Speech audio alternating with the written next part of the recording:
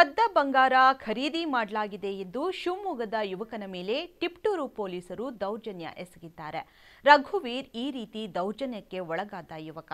ಗಾಂಧಿ ಬಜಾರ್ನಲ್ಲಿ ಶ್ರೀರಾಮೇಶ್ವರ ಕಾಮಾಕ್ಷಿ ಎಂಬ ಚಿನ್ನ ಬೆಳ್ಳಿ ಅಂಗಡಿ ಇದೆ. ಈ ಅಂಗಡಿ ಮಾಲೀಕ ಚಂದ್ರಹಾಸ್ ಎಂಬುವವರು ಬೇರೆ ಊರಿಗೆ ಹೋಗಲು ತನ್ನ ಅಕ್ಕನ ಮಗ ರಘುವೀರ್ ಎಂಬ ಯುವಕನನ್ನ ಅಂಗಡಿಯಲ್ಲಿ ಬಿಟ್ಟು ಹೋಗಿದ್ರು.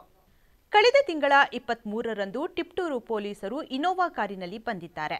ಕಾರಿನಲ್ಲಿ ಕಳ್ಳ ಇದ್ದಾನೆ, ಆತನ ಗುರುತು ಹಿಡಿ ಬಾ ಅಂತ ರಘುವೀರ್ನನ್ನ ಕಾರಿನ ಬಳಿ ಕರೆತಂದು ಬಲವಂತವಾಗಿ ಒಳಗೆ ದೂಡಿಕೊಂಡು ಕರೆದೊಯ್ದಿದ್ದಾರೆ. ಎರಡು ದಿನ ಅಕ್ರಮವಾಗಿ ಇಟ್ಟುಕೊಂಡು ನಂತರ ಎರಡು ಕೇಸ್ ದಾಖಲಿಸಿ ಎಂಟು ದಿನ ನ್ಯಾಯಾಂಗ ವಶಕ್ಕೆ ಕೊಟ್ಟಿದ್ದಾರೆ. ಅಲ್ಲದೆ ಕೇಸ್ನಿಂದ ಕೈಬಿಡಲು ಎಪ್ಪತ್ತು ಗ್ರಾಂ ಬಂಗಾರ ಕೊಡಿ ಅಂತ ಡಿಮ್ಯಾಂಡ್ ಮಾಡಿದ್ದಾರೆ. ಕೊನೆಗೆ ಇಪ್ಪತ್ತು ಗ್ರಾಂ ಬಂಗಾರ ಕೊಟ್ಟರೆ ಬಿಡುಗಡೆ ಮಾಡುವುದಾಗಿ ಹೇಳಿದ್ದಾರೆ. ಪೊಲೀಸರ ಈ ದೌರ್ಜನ್ಯದ ವಿರುದ್ಧ ಶಿವಮೊಗ್ಗದ ವಕೀಲ ರಮೇಶ್ ಅವರು ಸರ್ಕಾರಕ್ಕೆ ಹಾಗೂ ಹಿರಿಯ ಅಧಿಕಾರಿಗಳಿಗೆ ದೂರು ನೀಡಿದ್ದಾರೆ.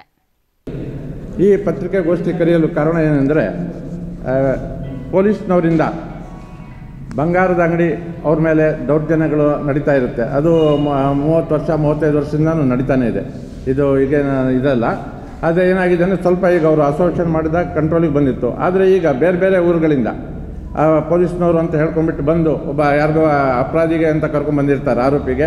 ಕರ್ಕೊಂಬಂದು ಅವರಿಗೆ ತೋರಿಸ್ಬಿಟ್ಟು ಇದೇ ಅಂಗಡಿ ಅಂತ ಹೇಳುವಂಥ ಮೊದಲೇ ಪ್ರೀ ಪ್ಲ್ಯಾನ್ ಮಾಡಿ ಹೇಳ್ಕೊಂಡು ಕರ್ಕೊಂಬಂದಿರ್ತಾರೆ ಅದನ್ನು ಅವರು ತೋರಿಸ್ಬಿಟ್ಟು ಗಾಬರಿ ಪಡಿಸಿ ಅವ್ರ ಜೊತೆಗೆ ಕಳ್ಳಮಾಲ್ ಕೊಟ್ಟೆ ಅಂತ ಹೇಳಿ ಕೊಡದೇ ಇದ್ದರು ಆ ಸುಳ್ಳು ಹೇಳಿಬಿಟ್ಟು ಅವರಿಂದ ಹೆದರಿಸಿಬಿಟ್ಟು ಡೀಲಿಂಗ್ ಮಾಡ್ಕೊಂಡು ಇದು ಮಾಡ್ತಾ ಇದ್ದಾರೆ. ಆ ರೀತಿ ಒಂದು ಆಗಿರೋ ಪ್ರಕರಣ ಈಗ ಮೊನ್ನೆ ಇಪ್ಪತ್ತ್ಮೂರು ಎರಡು ಇಪ್ಪತ್ತೊಂದರಲ್ಲಿ ಆ, ರಾಯ್ಕರ್ ಇವರು ಮಂಜುನಾಥ್ ರಾಯ್ಕರ್ ಗಾಂಧಿ ಬಜಾರಲ್ಲಿ ಇದು ಮಾಡ್ಕೊಂಡಿದ್ದಾರೆ, ಬೆಳಗಿ ಕಾಂಪ್ಲೆಕ್ಸಲ್ಲಿ ಒಂದು ಶಾಪು ಗೋಲ್ಡ್ ಸ್ಮಿತ್ ಶಾಪು ಇಪ್ಪತ್ತು ವರ್ಷದಿಂದ ನಡೆಸ್ತಾ ಇದ್ದಾರೆ. ಅವ್ರು ಯಾವುದೇ ರೀತಿ ತೊಗೊಂಡಿಲ್ಲ ಅಂತಾರೆ. ಆ ದಿನ ಅವ್ರು ಮದುವೆಗೆ ಹೋದಾಗ ಮಗನಿಗೆ ಕೊಡಿಸಿದ್ರು ಮಗ ಇನ್ನು ಇಪ್ಪತ್ತೆರಡು ವರ್ಷದವನು ಓದ್ತಾ ಇದ್ದಾನೆ.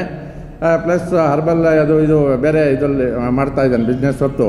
ಈ ಗೋಲ್ಡ್ ಸ್ಮಿತ್ ಬಗ್ಗೆ ಏನು ಗೊತ್ತಿಲ್ಲ ಅವನಿಗೆ. ಅಂಥವನಿಗೆ ಕೂರಿಸಿದಾಗ ಬಂದವರೇ ಟು ಪೊಲೀಸ್ನವರು ಸಿವಿಲ್ ಡ್ರೆಸ್ಸಲ್ಲಿ ಬಂದಿದ್ದಾರೆ. ಪೊಲೀಸ್ನವರು ಅಂತಲೂ ಹೇಳ್ಕೊಂಡಿಲ್ಲ. ಬಂದು ಪ್ರೈವೇಟ್ ವೆಹಿಕಲಲ್ಲಿ ಬಂದು ಅವನಿಗೆ ಅದರಲ್ಲಿ ಹಾಕೊಂಡು ಇದರಲ್ಲಿ ಕಾರಲ್ಲಿ ಕೂರಿಸಿ ತಳ್ಳಿ ನುಗ್ಕೊಂಡು ಹೋಗಿ ಅಲ್ಲಿ ಡೀಲಿಂಗ್ ಹೇಳಿ ಶುರು ಮಾಡಿದ್ದಾರೆ. ಏನಾದರೂ ಕೊಟ್ಟರೆ ಬಿಟ್ಟು ಕಳಿಸ್ತೀವಿ ಅಂತೇಳಿ. ಫೋನ್ ಮಾಡಿಸಿ, ಇದು ಮಾಡಿ, ಮತ್ತು ಅವನಿಗೆ ಕಾಲಿಗೆಲ್ಲ ಹೊಡೆದು ಎಲ್ಲ ಟಾರ್ಚರ್ ಮಾಡಿದ್ದಾರೆ. ಅದಾದಮೇಲೆ ಇವರು ಬಗ್ದೇ ಇದ್ದಾಗ, ಏನು ಕೊಡಲ್ಲ ಅಂತ ಹೇಳಿದಾಗ ಮತ್ತೆ ಅವನ ಮೇಲೆ ಅಲ್ಲಿ ಎರಡು ಪ್ರಕರಣಗಳು ದಾಖಲಿಸಿದ್ದಾರೆ ಟಿಪ್ಟೂರ್ನಲ್ಲಿ ಕಳ್ತನ ಆಗಿರೋ ಪ್ರಕರಣಗಳಲ್ಲಿ ಇವನಿಗೆ ರಿಸೀವರ್ ಆಫ್ ದಿ ಪ್ರಾಪರ್ಟಿ ಅಂತ ಸೇರಿಸ್ಯಾರೆ. ಅವನು ಆ್ಯಕ್ಚುಲಿ ನಿರಪರಾಧಿ, ಅವನು ಯಾವುದೇ ಥರದಲ್ಲಿ ಅಪರಾಧ ಮಾಡಿಲ್ಲ, ಅವನು ಯಾವುದೂ ತೊಗೊಂಡೂ ಇಲ್ಲ. ಆ ಹುಡುಗ ಈಗಿಲ್ಲ ಅಂತ ತಮ್ಮ ಮುಂದೆ ಬರ್ತಾ ಇದ್ದಾನೆ. ಅವರು ಅವ್ರ ಅಪ್ಪರ ಅಪ್ಪ ಇದ್ದಾರೆ. ಅವ್ರಿಗೂ ಕೇಳಿದರೆ ಏನೊಂದು ಆ್ಯಕ್ಚುಯಲ್ ಪೊಸಿಷನ್ ಗೊತ್ತಾಗುತ್ತೆ. ಆಮೇಲೆ ಆ ಬಗ್ಗೆ ವಿಡಿಯೋ ಕ್ಲಿಪ್ಪಿಂಗ್ಸ್ಗಳಿದೆ ಮತ್ತು ಮಾತಾಡಿರೋದು ಇದು ಇದೆ ಪೆಂಡ್ರೋವ್ ಇದೆ. ಪ್ಲಸ್ ಇದರಲ್ಲಿ ಅವರು ಪೊಲೀಸ್ನವರು ಕಿಡ್ನಾಪ್ ಮಾಡಿಕೊಂಡು ನೂಕಿ ಕರ್ಕೊಂಡು ಹೋಗಿರೋ ಬಗ್ಗೆ ಸಿ ಸಿ ಕ್ಯಾಮ್ರಾದ ಫುಟೇಜ್ಗಳು ಸತ ಇದೆ.